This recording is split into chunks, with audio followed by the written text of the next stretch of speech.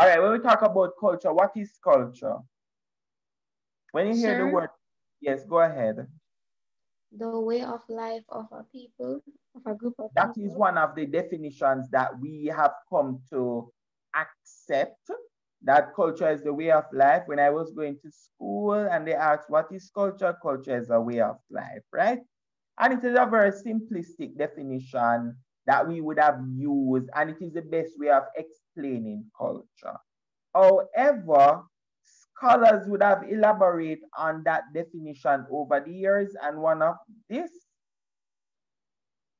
way is somebody could you read read this for me please? This definition of what culture is? I'll read it Culture is the complex system of meaning and behavior defines the way of life for a given group or society. It includes beliefs, values, knowledge, art, moral, laws, customs, traditions, habits, language, and dress, among other things. Very good. Thank you very much, Richardson. So, with culture, uh, what this definition, it's very, very broad, and I would want you to use that definition. If you get an test or get an essay on uh, in your, yeah, maybe you're not going to repeat it uh, directly, but you could say that culture is very complex and it includes things like belief, values, knowledge, laws, morals, all of these different stuff, right? How you dress.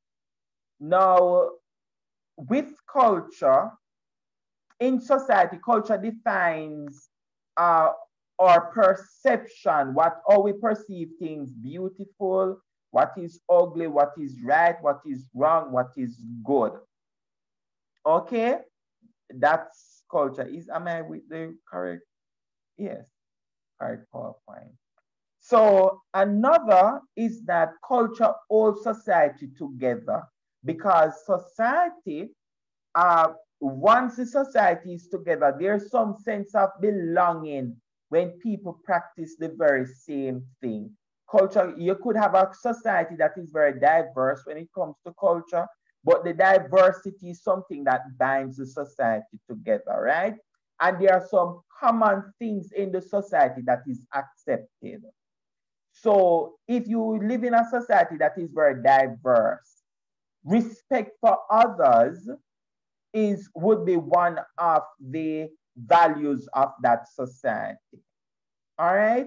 When we talk about culture, we also talk about things like our religion, race, age, sexual orientation, so, socioeconomic status or ethnicity, gender, generation, nationality, education. All of these different uh, facets also influence how we view uh, things in society. So our society could have multiple religion, uh, multiracial, uh, the age group could be varies, different sexual orientations, the socio-economic status, you have poor, rich, white, all of these, well, poor, rich, all of that, ethnicity, gender, all of these different stuff determines your culture. Now, cultural studies scholars would have divided culture into two groups, material culture and non-material culture. When they talk about material culture, culture, they are talking about things that you can actually touch, which is part of culture. Things like artifacts, objects, buildings, print, cell phone, what other things you, you can touch in a society that determines your culture. Society. Material culture, examples of material culture. Sir, food. Food, yes. Food is part of your material culture, a very important part of the material culture. Any other thing? Clothing.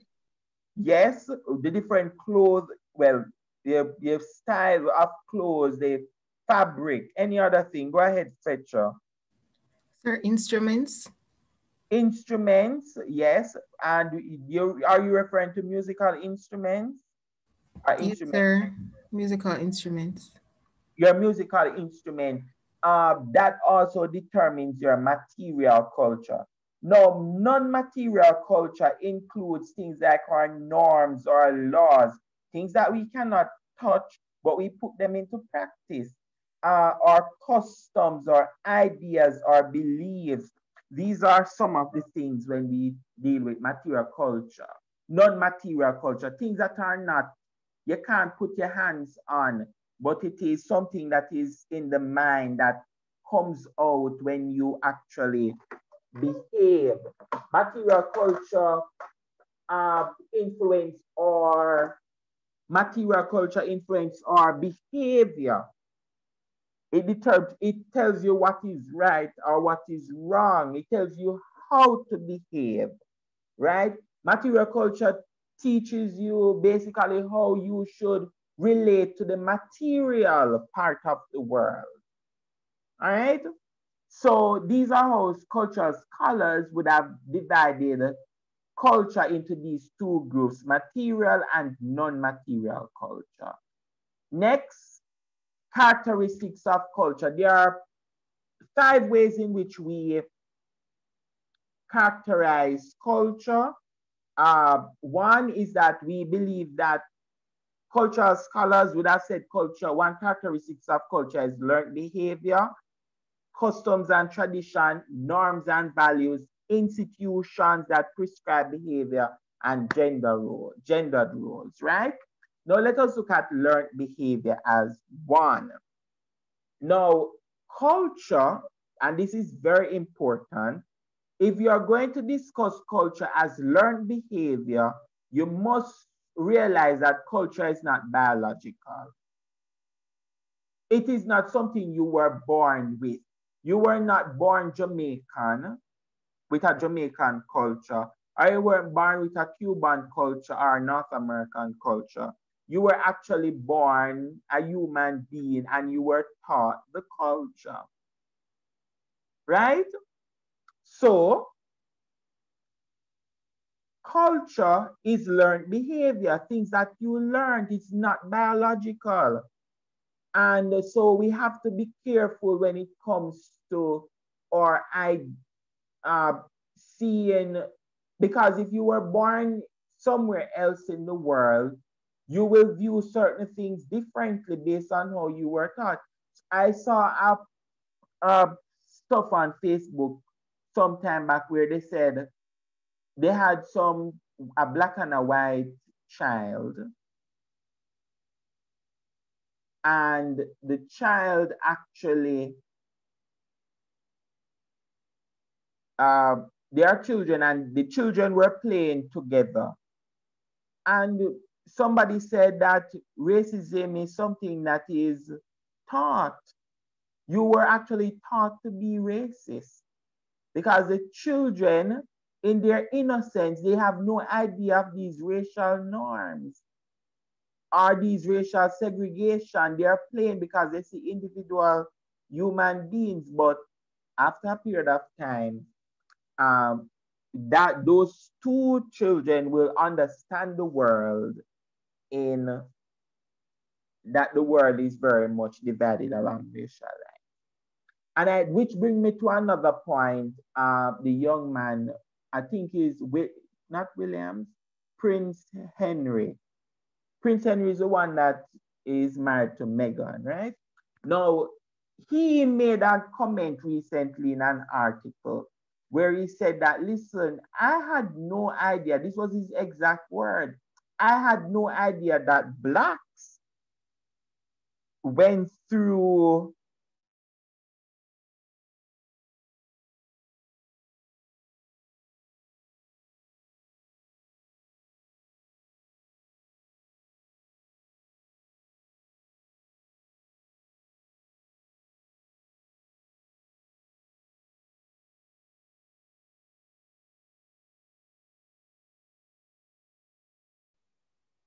Sorry about that. That was a mistake. All right, so he said that he had no idea of the experience that blacks would have gone through, people of African descent and the racism surrounding is when he was he actually got married to his wife that he under you know get to understand the struggles of black so so people comment on the article and said well he grew up sheltered. He had no idea that the system that racism was actually a system that was actually set up by his family. Uh, and so culture, uh, we call it? Culture is learned behavior, things that you actually learn. Now, scholars also say that culture shapes our behavior, how we behave. And culture is reflected in symbols. These symbols are language to how we speak. If you realize that some of us speak differently, we pronounce our word differently. Even if we're from the same country, we tend to speak differently. Perfect example, there's this person, the Mark Golding, who was rec recently elected uh, as the People's National Party president. He's, I've heard him on the TV speaking patois, right? And he said that he grew up as somebody of privilege in Jamaica, right? Father was a British person who came to Jamaica, met his mother here, and he was the product. His mother was also from a very elite family in Jamaica. And so he grew up very, but his Creole sounds like when I was teaching my uh, when he speaks the Creole, I don't know if he want to convince us that he was down to earth, or maybe he's just very much down to earth, but his Creole sounds like, uh, we call it now, when I was teaching my friends in university from Germany, Jamaican patois, that's how it sounds. In fact, my friend, a very good friend of mine from France, uh, he actually learned English in Jamaica, came here fluent, well, came to Jamaica to learn English, and later on did his PhD on Jamaica and Haiti. And his patois is much better than Mark Golding's patois. But culture represents itself in symbols, things like language or habits or gestures or religion. Most of us are in certain religion or denomination today because we grew up that way. You're Catholic because your parents Catholic, your parents' parents Catholic. You're Methodist because your parents' parents Methodist. You're Anglican because of that. How you, you grew up in an Anglican house. You are uh, Seventh-day Adventist because of that. You're Jehovah's Witness because of that. So your, your behavior how you eat around the table also is how your parents would have trained you, right?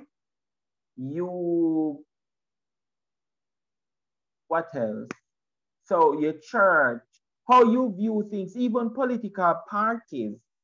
You grow up in a PNP house, more likely you're going to be a PNP. If you grow up in a JP house, you're going to be a JP. If you're going to be in a house that people don't talk about politics, none at all, then guess what?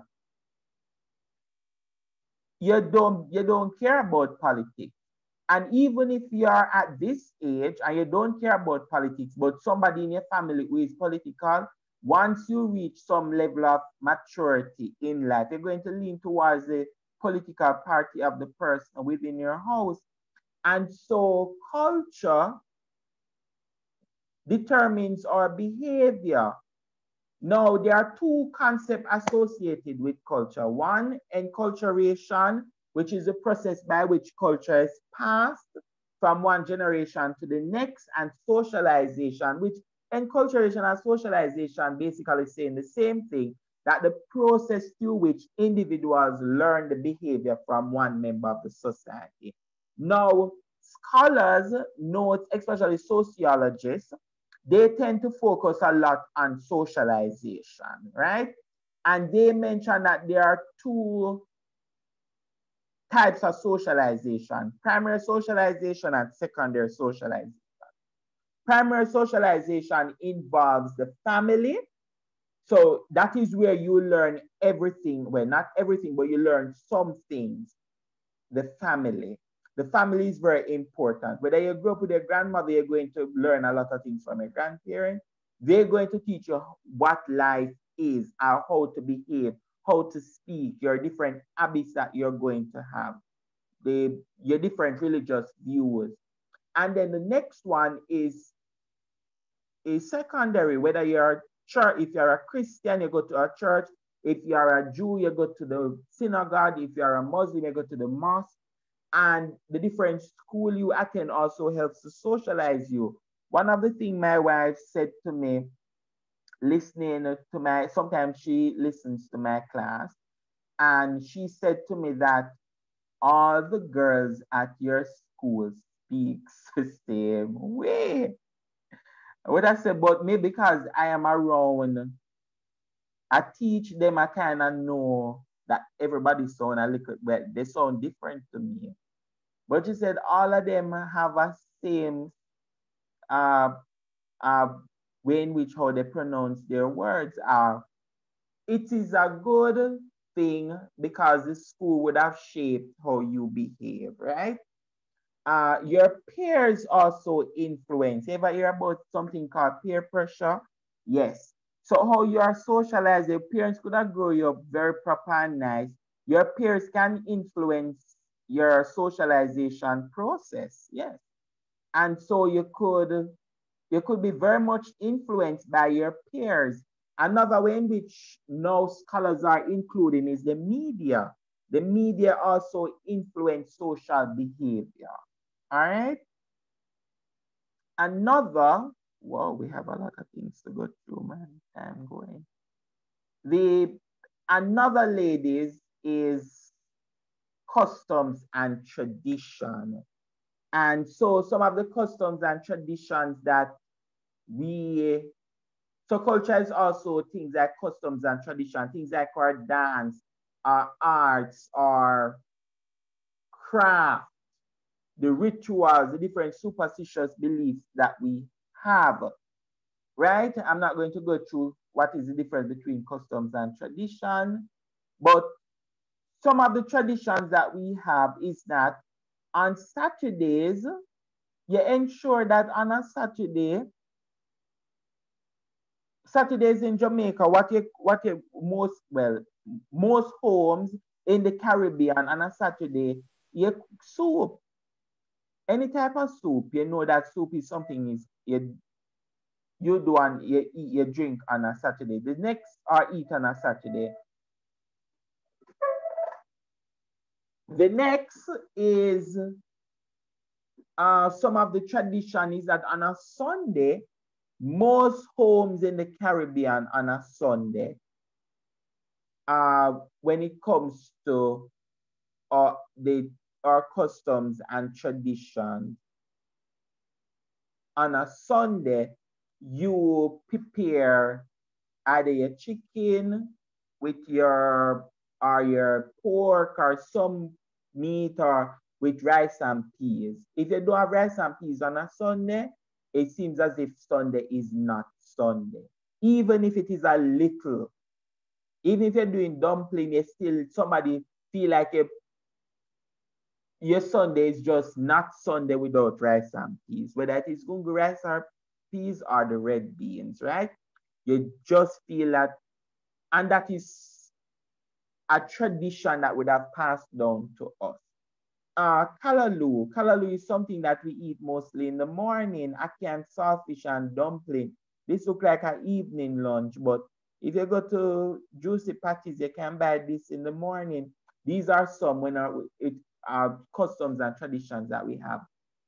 In Jamaica, and the other Caribbean countries, one of the main customs uh, of Chris, uh, one of the main tradition of Christmas is the fruit cake. This is what we call they call black cake, and it is my favorite. PriceSmart now have it on sale, and if you if you're following Auntie Donna on, they call that no, Facebook or Twitter, whatever, Auntie sells these nice black cakes when it comes to Christmas time, every home doing some form of cake, black cake. I don't understand how people grow up Caribbean and don't like black cake, but black cake is very, very nice.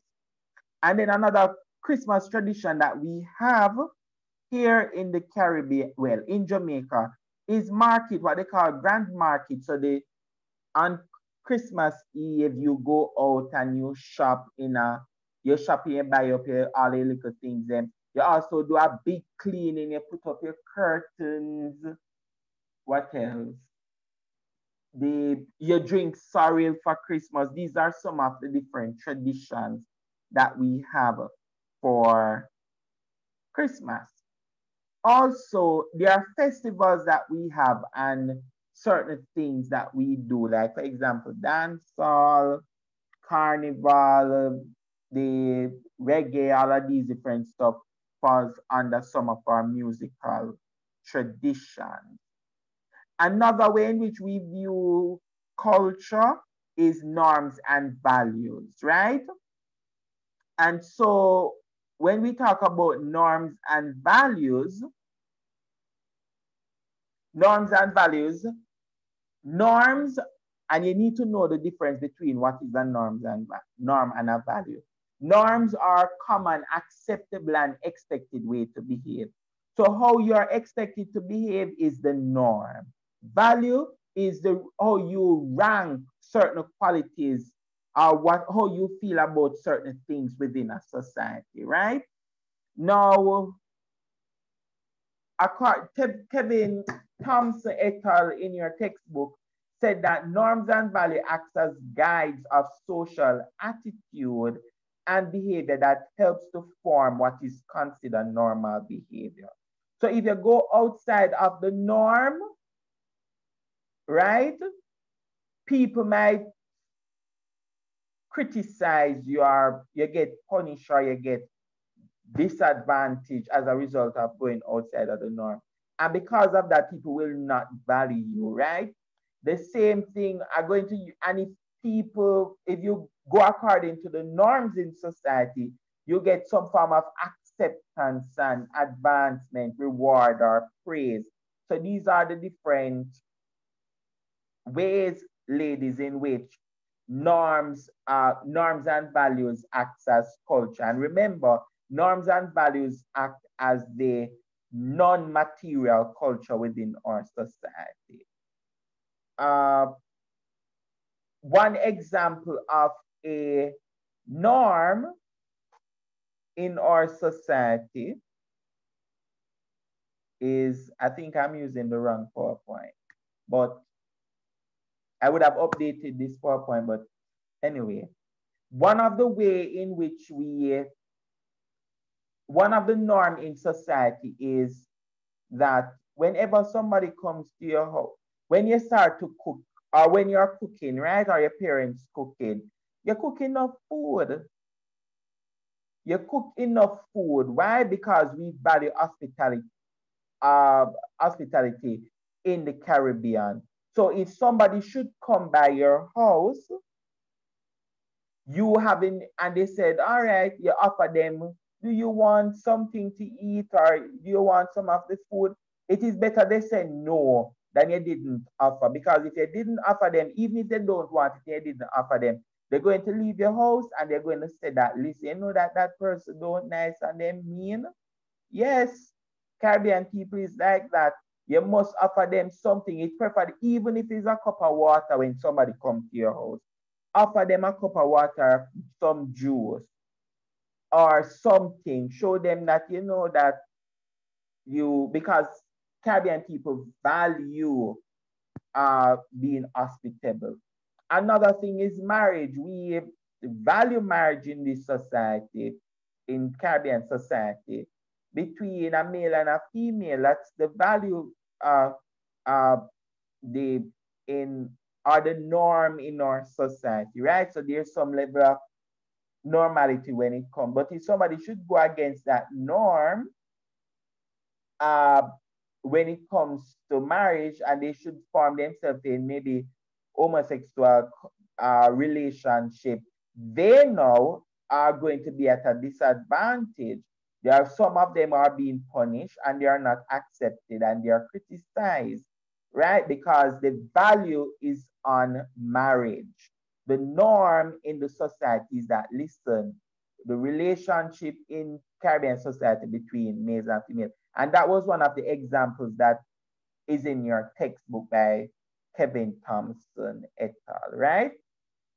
So, so far, ladies, when we look at characteristics of culture, we look at culture as being learned behavior, things that you actually learn, culture as being customs and tradition, some of the customs that we actually have.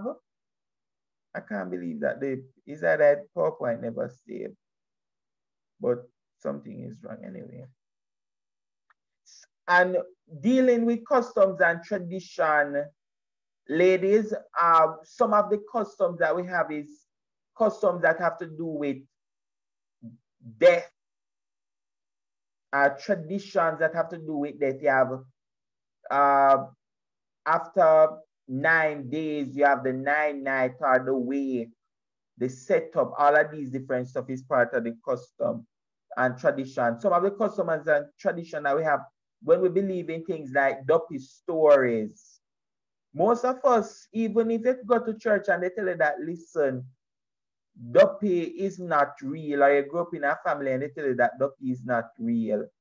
If one night uh, you hear the pot in the kitchen fall down or something fall down in the kitchen in the night, in your back of your mind, you think that a duppy is there. You have to be constantly telling yourself that duppy is not real. And that's just a fact. Another, so these things deal with custom and tradition.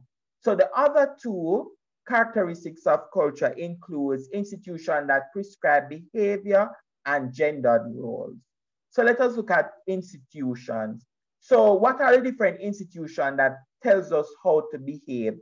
Religion, right? The church, which falls part of religion, but especially in Caribbean society and in Jamaica, Christianity is a dominant faith that determines how we should behave uh, the justice system. If you go against the rule, you know you're going to get locked up or the court is going to punish you. Education system. The schools are very much influenced by the church and the school teach you how to behave. So institution that prescribe behavior is also part of culture. Another is gendered roles, right? Our different perception of masculinity and femininity, right? And so when we look at feminine, non-aggressive, these are what the perception, the traditional stereotypes. Uh, uh, females are talkative, emotional, verbal, kind, tactful, nurturing, easily hurt emotionally. You shouldn't cry, right? Well, you cry, always crying, showing feelings. While for the males, they are supposed to rarely cry. They should be aggressive, independent, dominant, active, uh, shouldn't talk a lot. I'm wondering where they get that one from should be tough, less sensitive to others. Now, on when when Biden won the election, there is a black journalist on CNN that cried, and he cried because he said, "Oh, it's really victory for, you know, people all across America, especially black people. They can't breathe now because a racist president is gone and he started to cry. No, somebody who is from his same political party, uh, a, a correspondent, was interviewing a politician, and he said that he under well, he can sympathize with the journalist, but he would not necessarily show, you know, that form of we call it now, show his emotion in public by crying. And I know Im immediately was knocking the journalist masculinity by saying that. And in Caribbean society, if a male is very talkative, you, and most, most females would say, if they hear a male be talkative, you hear them say that, listen, you just chat, you chat too much, you chat like a gal. Yes, that is a very prominent stuff that they would tell the males. I they speak too much, right? Or, yes, and when I was going to school, going to JC, and the teachers are uh, in the class and the boys are talking, you'd hear the teachers immediately say, all right, Jamaica College young ladies, you know, knocking that, well, that they should be, you know, we call it now. They should be, they shouldn't be talkative because that's not one of uh, the, the, the, the feature of a male. And in the Caribbean also, we have very specific gender roles. Males are caregivers, they are, no, sorry, females are caregivers. So girls, they are the ones who are supposed to wash the dishes, help in the kitchen, all of these different stuff. The boys are seen as outdoor, uh, the protector. And also another gendered role in society is that males at a very young age are sexualized. So they are encouraged to form, have a girlfriend and all of these different stuff in Caribbean societies. All right, ladies. So if we look in, if we look at characteristics of culture, culture is learned behavior, customs and tradition, norms and values, institutions that prescribe our behavior and our different gendered roles. So if you go into the exam and they ask you what to talk about three ways in which we view culture, you said one way in which we view culture is learned behavior. You give your example. One way is customs and tradition example norms and values, examples. Or you could go institution that prescribe behavior, values, or gendered roles, values. Sorry, gendered roles, example. All right, ladies, any question, any comment? Any question? No comment? No, right. no sir. All right, hope I was clear. Enjoy the rest of your day. Thank you. Same to you. Thank you, sir. Same to you. Bye, sir. Thank you. Bye-bye.